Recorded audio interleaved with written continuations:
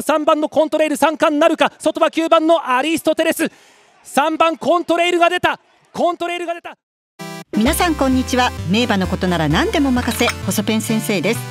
3分で分かった気になる名馬今回は日本競馬史上初不死2代無敗で三冠を制した。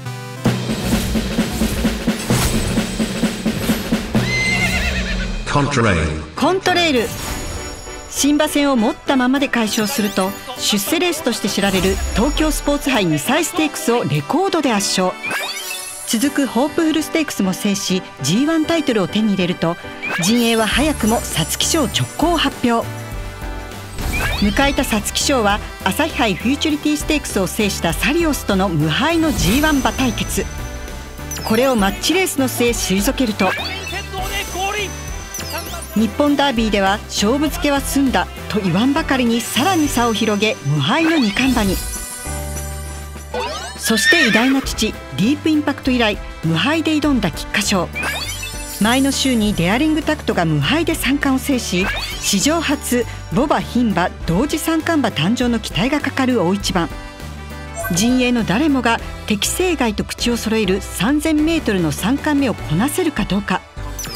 単勝オッズは1.1倍。スタートしました。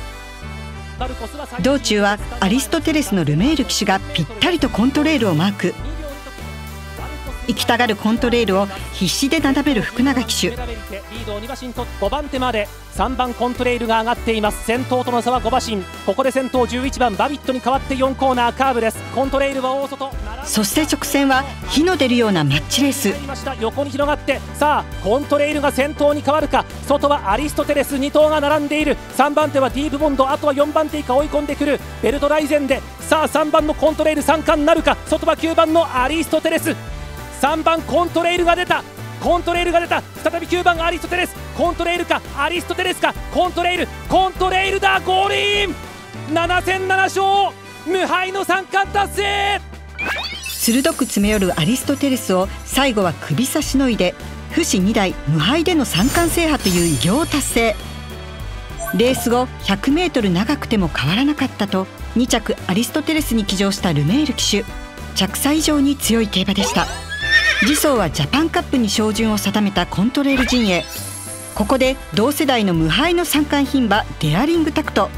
現役最強でこちらも三冠を制したアーモンドアイとの世紀の一戦が実現。外からは6番コントレールだがラストランとなるアーモンドアイに屈しはしたものの2着を確保。今後の活躍を期待されました。4歳春は大阪杯から。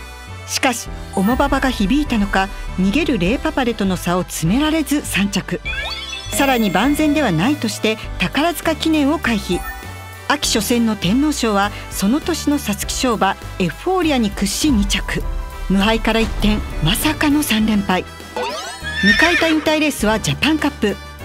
その年のダービー馬シャフリヤールをはじめマカヒキワグネリアンとコントレールを含む4頭のダービー馬が集結したことも話題になりました。輝きを取り戻すラストチャンスコントレールは中段からの競馬。直線は道中で先頭に立った奇跡をめぐってオーソリティシャフリヤールが猛追。しかし1頭だけ足色が違っていました。馬名そのままに青空を切り裂く飛行機雲のような伸び足。さあ先頭7番のオーソリティ。外からコントレイル。間からシャフリヤール。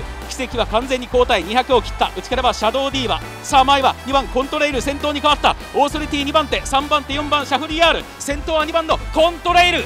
これが本来の姿だ。ゴール最後の最後で無敗の三冠馬としての輝きを取り戻したコントレイル。守護馬としても偉大な父の背中を追いこのレースを最後に引退。守護馬となりました。通算成績11戦8勝。クラシック三冠含む G15 勝。いつか親子3代での三冠馬誕生の瞬間を期待したいですね。今日の話はここまで。各自しっかり復習しておきましょう。